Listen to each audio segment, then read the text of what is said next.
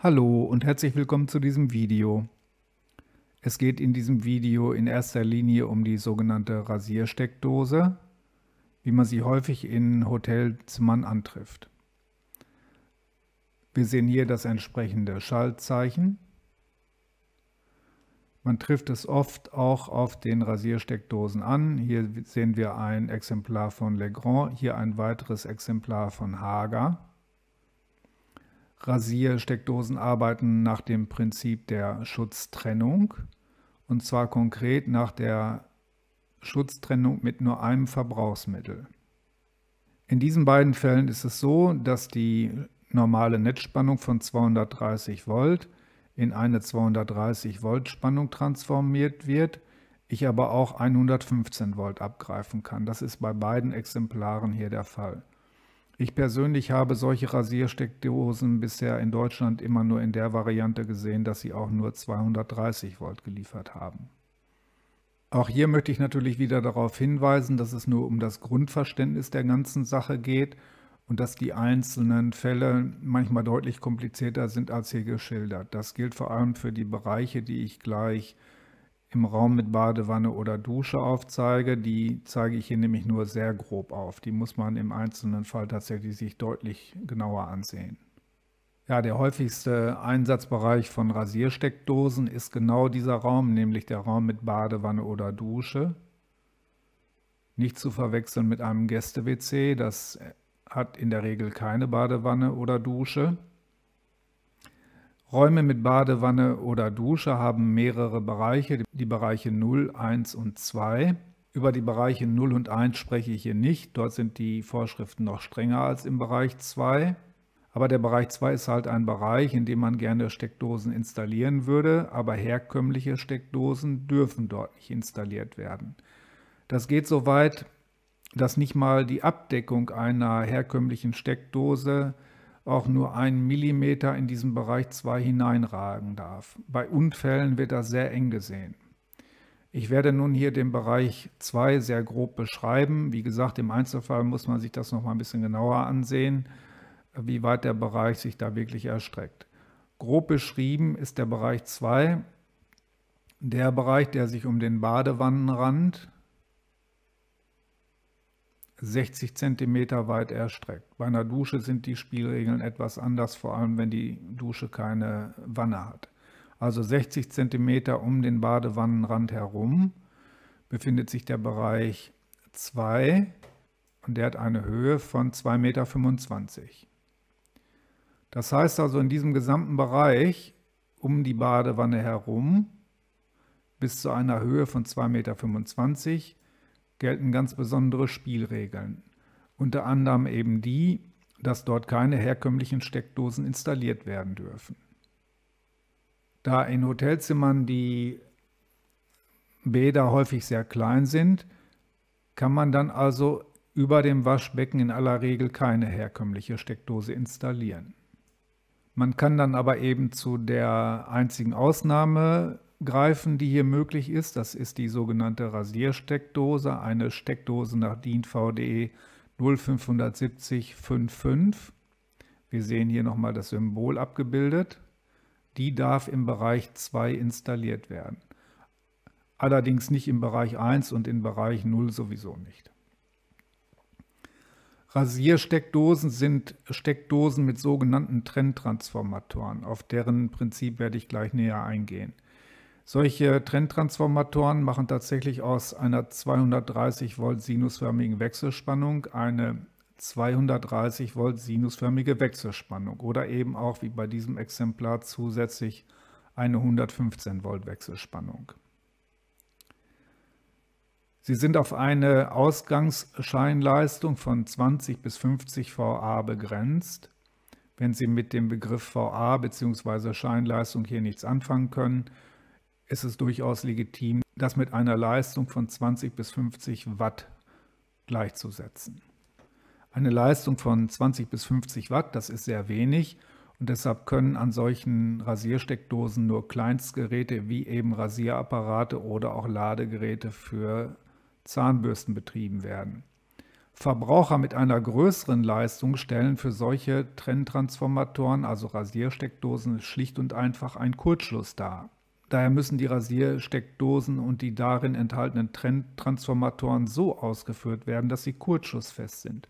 Das heißt, wenn ein Kurzschluss auf der Sekundärseite auftritt, wird sich der Trenntransformator nicht so stark erhitzen, dass es dabei gefährlich wird. Das ist bei vielen Transformatoren, die nicht kurzschlussfest sind, nicht der Fall. Dort würde sich mit dem Kurzschluss auf der Sekundärseite auch die Eingangsleistung sehr stark erhöhen und damit würde das Gerät gnadenlos überhitzen. Rasiersteckdosen sind mit voller Absicht so ausgelegt, dass man eben keinen Föhn an diesen Steckdosen betreiben kann. Es soll eben nicht so sein, dass man sich in die Badewanne setzt und dort irgendein Elektrogerät betreibt. Auch nicht hinter einem Trenntransformator, sprich einer Rasiersteckdose. Auch das bleibt lebensgefährlich. Man geht also hier davon aus, dass ein Föhn einen größeren Anreiz bieten würde, um ihn eben auch dann zu benutzen, wenn man in der Badewanne sitzt, während man einen Rasierapparat nur dann benutzt, wenn man vor dem Waschbecken steht. Aber das ist natürlich auch eine Mutmaßung. Rasiersteckdosen sind sehr häufig auch in Spiegelschränke integriert, sodass man dann also in diesem Bereich durchaus auch einen Spiegelschrank inklusive einer solchen Steckdose installieren darf. Allerdings gibt es auch viele Spiegelschränke im Handel, die Steckdosen enthalten, die jedoch keine Rasiersteckdosen sind. Elektrofachkräfte dürfen auf keinen Fall solche Spiegelschränke in diesen Bereich 2 hinein installieren. Das ist und bleibt schlicht verboten. Man müsste also für den Fall, dass man in diesem Bereich einen Spiegelschrank installiert, darauf achten, dass es sich wirklich um ein Exemplar mit Rasiersteckdose handelt. Die gibt es durchaus. Nun zum Prinzip der Schutzwirkung. Wir sehen hier zunächst eine ganz normale Anlage mit der spannungserzeugenden Spule, dem Außenleiter L1 mit einem Pennleiter und einem Neutralleiter sowie einem Schutzleiter. Wir sehen auch, dass in diesem Fall der Mensch den Außenleiter berührt. Das ist natürlich extrem gefährlich im Badezimmer allemal, denn es kommt jetzt dazu, dass der Mensch den Stromkreis schließt, also von der spannungserzeugenden Spule aus wird über den Außenleiter, über den Menschen, über seinen Oberkörper zum Erdreich hin ein Strom fließen, der Stromkreis wird geschlossen, in diesem Fall gibt es noch einen weiteren Weg für den Strom über diese Strecke. Und sofern dieser Übergangswiderstand gering ist und auch dieser Übergangswiderstand gering ist, und das ist im Badezimmer durchaus sehr wahrscheinlich, ist damit zu rechnen, dass der Mensch diesen Kontakt mit dem Außenleiter nicht überlebt. Hinter einem Trenntransformator, also einer Rasiersteckdose, sieht die Situation nun etwas anders aus. Auch hier soll nun der Fall angenommen werden, dass der Mensch durch einen Fehler eine spannungsführende Leitung berührt. Das ist aber nun die Leitung, die sich auf der Sekundärseite dieses Transformators befindet. Wird also zum Beispiel in dem Rasierapparat ein Defekt auftreten, der hier dran betrieben wird, und der Mensch berührt diese spannungsführende Leitung, so ist zwar auf der Primärseite der Stromkreis nach wie vor geschlossen. Es fließt auch hier ein Strom. Da aber der Transformator die Primärseite mit der Sekundärseite nur magnetisch koppelt, man spricht hier von einer galvanischen Trennung, kommt es nun nicht dazu, dass ein Stromfluss von der Primärseite auf die Sekundärseite übertragen wird und somit kann kein Strom über den Menschen schließen, denn er schließt schlicht und einfach den ursprünglichen Stromkreis zum Spannungserzeuger nicht. Der Mensch wird nicht einmal bemerken, dass er hier eine potenziell spannungsführende Leitung berührt. Und somit wird die ganze Situation ungefährlich. Wie bei allen anderen Schutzmaßnahmen auch muss man aber ausdrücklich darauf hinweisen, dass es keine einzige Schutzmaßnahme gibt, die die Anlagen völlig ungefährlich macht.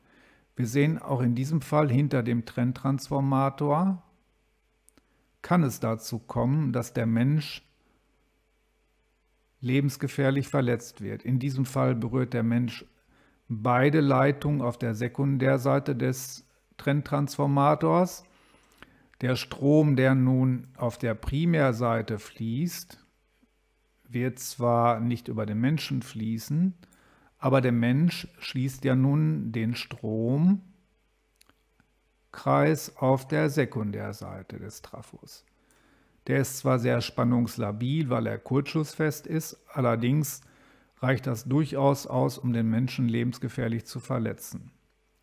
Also auch hinter einer Rasiersteckdose muss man vorsichtig sein. Auch dort kann es zu schweren Verletzungen oder sogar zu tödlichen Unfällen kommen. Und man sollte auf keinen Fall ein Elektrogerät benutzen, während man in der Badewanne sitzt. Auch nicht ein solches, das an einer Rasiersteckdose angeschlossen ist. Ja, ich hoffe, ich konnte Ihnen das Prinzip des Trenntransformators und der Rasiersteckdose näher bringen. Ich weise ausdrücklich nochmal darauf hin, dass das Ganze hier stark vereinfacht ist, insbesondere was die Bereiche im Raum mit Badewanne oder Dusche angeht. Ich hoffe, das Video hat Ihnen gefallen. Ich würde mich natürlich sehr über einen Daumen hoch und noch mehr über ein Abo freuen. Herzlichen Dank für Ihre Aufmerksamkeit.